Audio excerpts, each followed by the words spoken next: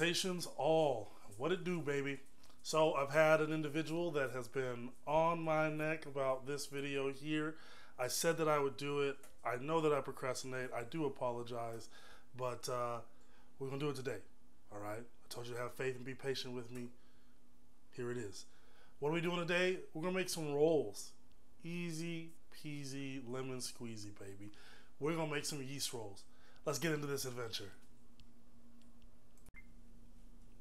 Now, as I've said in the past, uh, you know, when we cook in the kitchen, on average, it's a pinch of this, a pinch of that. We eyeball, you know, it's just it, it's muscle memory type thing, and you can get away with that in most cases when you are cooking hot food. Baking, on the other hand, is an exact science. Uh, so, because of that, I took the time to write this down. So let's get into this ingredient list today. Obviously, we're making bread, we're going to have flour and things like that, okay? So, what you're going to want to do is you want to have two tablespoons of some kind of fat, of an oil. Whether it's Crisco, you remember the big cans that used to sit on the stove with mom? Uh, you can do olive oil, you can do butter. I mean, it's really going to be your choice on that coconut oil. I mean, you know, you just want some fat. And this is going to be a, a, drilled down recipe or drilled down uh, amount, so you can always double, triple, whatever as you need. So, all right, we're going to start off with two tablespoons of oil. We also want three tablespoons of plain sugar. We'll explain why, because we're not making sweet rolls. You're to want one cup of hot water, okay? Uh, you're going to want a pack of yeast, right? Like a little quarter pack of yeast. They come in threes. Uh, I don't know where I put mine. There it is. Uh, I'm using this one today. I've got a couple different brands. Don't mind the oven. Uh, so just to need one pack of that. You're to want one egg that you've already beat. All right, give it to Joe Jackson uh, one teaspoon of salt, and two and a quarter cups of flour. Okay. Now, with the hot water, you want to start off with the water hot, right? Pretty good and hot. And we're going to add the sugar to the water. We just want it hot because we want to help to dissolve that sugar a little faster. So I've got my water here with my sugar in it. Once the temperature comes down on that water and it's lukewarm, um, you can go ahead and add the yeast to it. Now you can do this ahead of time, and you can do a little warm water with the sugar, and you can add the yeast and let it sit for a while and do its thing. The sugar feeds the yeast. All right. So if you have a, a high sugar uh, diet, you're more likely to have. Anyway, um, so the sugar feeds the yeast. That's what helps it do its thing. And if the water is too hot, we end up killing the yeast, and we we don't want that. All right. So I've got my water with my sugar here. I've got my beaten egg over here as well, and I just went ahead and added the salt uh, directly to the egg. Now, I also have a little bit of butter set aside, and we're going to use this uh, on the tops of our rolls when we are putting them into the oven, as well as once they come out, obviously, we're going to need some butter. So, that's the ingredient list, right? Crazy easy. Let's get into the mixing parts. Now that my water temp has come down, uh, I went ahead and added my yeast to that. Give that a good stir. We want to try to get that yeast dissolved really well into that water. I'm also going to go ahead and add my oil to the water over here on the side. I'm going to add my oil to that as well. So we've got all my wet ingredients together with the exception of my egg. All right, we're going to let the water come down a little bit more before we uh, before we add that in the mix. Alright, remember the egg's already got the uh, salt beaten into it, so in my water cup, I've got my yeast, my sugar, obviously, my water, and my oil. Alright, now we're going to go in with our two and a quarter cups of flour. And if you have a sifter, if you even know what that is, uh, I would recommend using it. Sifter is just going to add a little air to that and make separate those little particles of the flour. Not necessary, right? Not necessary, but it is helpful. All right, now we're going to start adding in our yeasty water mix. No Monistat needed. Go right in the middle there. The gloves are not necessary. I'm just a weirdo. I have a thing about stuff on my skin. Very weird with textures. So, anyway. Start mixing that in real nice and easy peasy. Always have a little bit of extra uh, flour on the side. if we need. I might have went a little too heavy with my water there. About a quarter cup short of my flour. So we're going to add a little flour and bring that together. While I'm getting that, let's go ahead and add my egg in. So we can get that mixed as well. So, like I said, I'm about a quarter cup short on my flour. So don't mind me. Let me step away and get that. All right, so we're back. Uh, like I said, I had to add a little more flour to it uh, so we can get where we're trying to go. And that's okay, it happens sometimes with baking, so you always want to have a little extra on the side. And you're just going to slowly start sprinkling in flour on that until you can get it to form into a nice uh, dough ball. And just keep adding a little at a time until you get where you want. If your mix is a little bit too moist, no big deal. Alright, we try to get all this dry flour up really nicely until you can form a proper dough ball.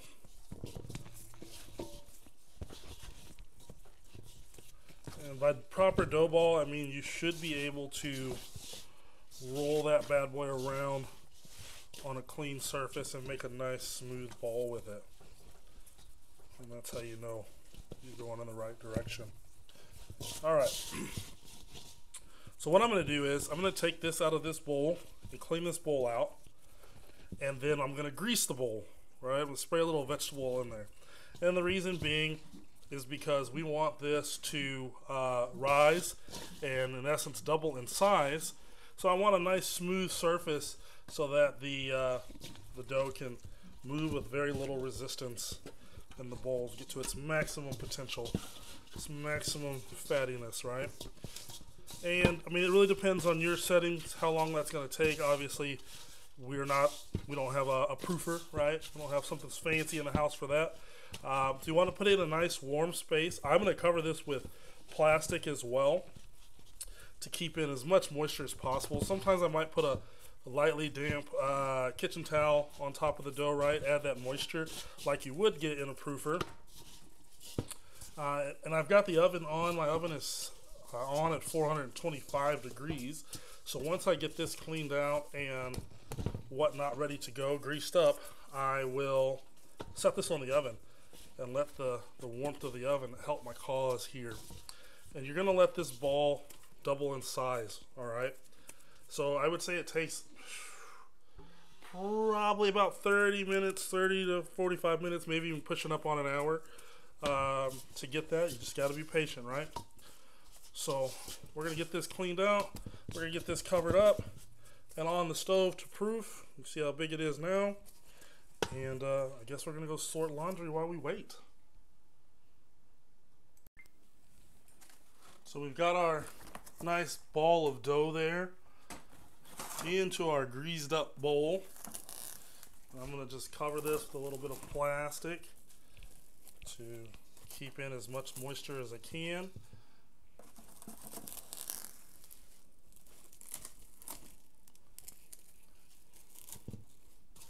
And we're going to set this bad boy on the oven. We're going to set a timer for about 45 minutes. We're going to come back, check to see if it has doubled in size. All right. All right, so we are back. We allowed the uh, dough to do its thing for about an hour, sitting on top of the stove here. You can see it's fogged up from the steaming, the moisture there. It's got quite a bit bigger on us, right? Easy peasy, man. Alright, so what we're to do, I'm to grease up my muffin pan over here. A little bit of vegetable spray. Alright, and then we're just going to be real light and easy with this. Just going to knock it down a little bit. Let some of that air out. I'm not going to really put a lot of pressure on it or, you know, be too forceful with it. I just want to knock some of that air out and then we're going to start making our individual rolls and to do that just going to pinch a little bit of dough off now just to depend on how big you're wanting to make your rolls I'm going to go with a pretty large muffin pan there all right now you know if you've got a scale by all means you know you can do this and measure them out make sure that they're equal or you know you can always eyeball the weight if you want to admit to having that ability um, Just gonna pinch a little bit off there. make a little ball, being very light with that. To, like I said, I don't want to really mash it down, but I do want to shape that nicely. And boom. So I'm gonna fill these bad boys up.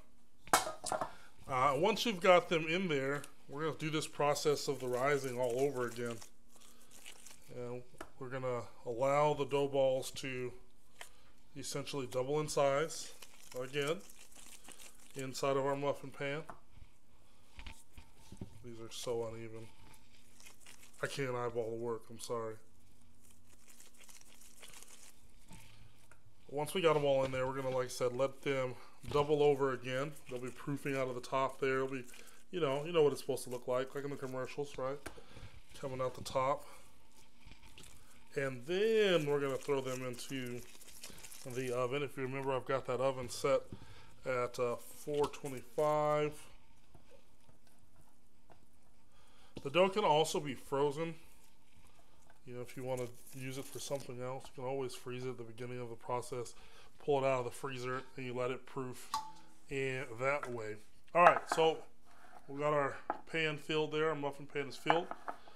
I'm not going to cover them with plastic this time because we want them to grow big and strong and I don't want them to be restricted or oppressed by the plastic. All right, so I'm going to put these back on top of my stove and uh, allow them to double up and then we'll get them into the oven.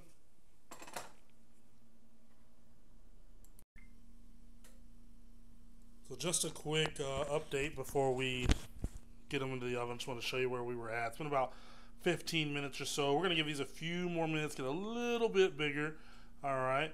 Uh, but you do have to be careful. You can do, uh, you can overdo these. You can overproof your rolls or your bread. So what'll happen is they will expand, expand, expand, expand, expand, and then they'll get so far and then they'll deflate. So we don't want to do that. We're going to give them about uh, about five to ten more minutes, and then we're going to go into the oven at 425. All right.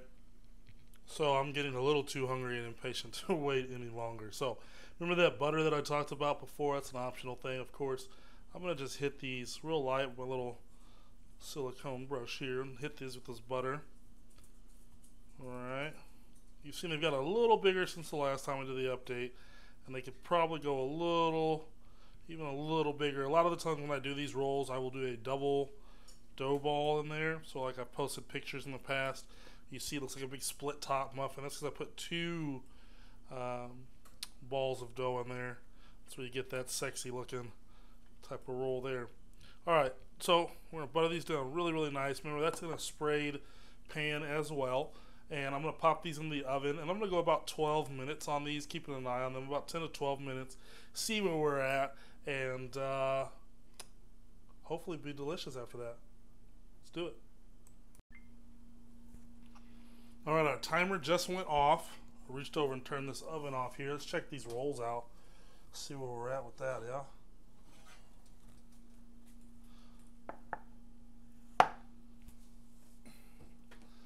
So, fresh out of the oven. Gonna hit them again with this butter. And then I will gladly burn my fingers for your amusement so we can tear one of these bad boys open. Oh, they're so shiny. That smell, man. Alright, let's see. Let me try to Mm, mm, mm. Let's try one out. Let's see. Oh my, oh my. Oh man. so, oh my gosh, look at that. I mean, look at that. Alright. Dinner rolls, man. Oh, that burned my fingers real good. Alright. Let's talk about this. Well, there you have it. Uh, dinner rolls, right? Rolls. I don't have to necessarily be for dinner. Um, so for me personally, you want to get that like light, crazy, airy, uh, you know, super soft and fluffy. That's really going to come down to your yeast uh, and your patience for that proofing process, right? Uh, you might even be able to hit it with a little bit of baking powder. You know, it does the same thing. It's, it's going to cause a chemical reaction the uh, gas that the yeast gives off is what causes the bread to expand. Same thing with like your baking powder, powder not soda, powder not soda. But it does the same thing, right? It causes a chemical reaction in that dough. It releases the gas. The gas is what makes it expand. And the larger you can let it get, of course, the airier your rolls are going to be, or the lighter. Um, you know, this is pretty good texture right here. These are a little bit thick. Probably should let them go a little longer.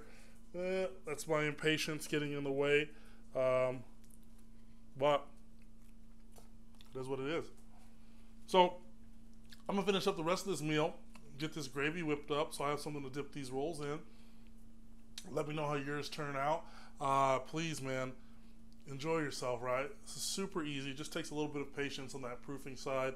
But uh, while you're waiting, maybe you can uh, find you a nice apple butter, mm, little honey butter. Mm-hmm. All right. Thanks for joining us. Let's go around, guys. See you next time. Before I walk away and forget, I want to thank my absolutely wonderful young niece, uh, Ms. Raya, for hooking us up with that intro. Please check her out. I have learned a lot. I am not afraid to admit it. That young one is so much better at these videos than I am. So thank you very much, Cheeky Baby, for your intro. All right.